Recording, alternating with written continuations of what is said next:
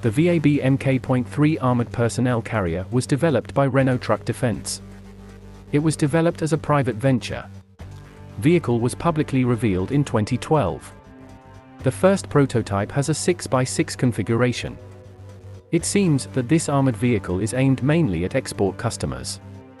As far as it is known this APC received no production orders yet. The VAB Mk.3 follows the line of the previous VAB series of armored personnel carriers.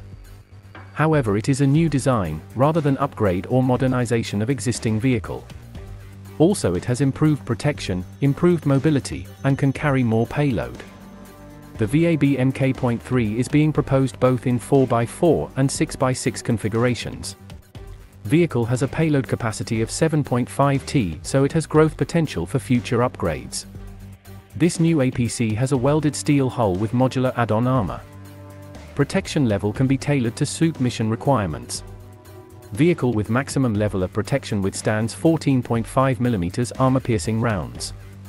The MK 3 is adapted to the new threats on the battlefield, such as landmines and IEDs. It is claimed that mine protection of the VAB Mk.3 is similar to that of MRAP vehicles. NBC protection and automatic fire extinguishing systems are optional. Other survivability options are available such as slat armor or active protection system. A prototype of the VAB Mk.3 was fitted with a TRT-25 remotely controlled module, developed by BAE Systems. It is armed with 25mm M242 Bushmaster chain gun. This gun is dual-fed. There is also a coaxial 7.62mm machine gun. Other weapon options are available, including missiles. This APC can accept remotely controlled or man-operated turrets with cannons up to 30mm. It can transport up to 12 troops, including commander and driver. Troop compartment is located at the rear. Soldiers enter and leave the vehicle via rear doors or roof hatches. Commander and driver use separate side doors. The VAB Mk 3 is fitted with a Renault D11 turbocharged diesel engine.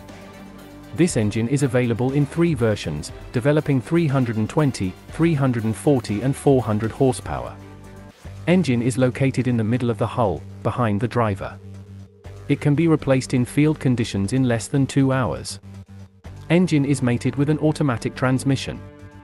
Vehicle has a full-time all-wheel drive. A central tire inflation system is optional. Self-recovery winch is also fitted as an option. A cold weather starting kit is optional. Amphibious kit is optional as well. This APC can be airlifted by the C-130 Hercules of A400M Atlas military cargo aircraft.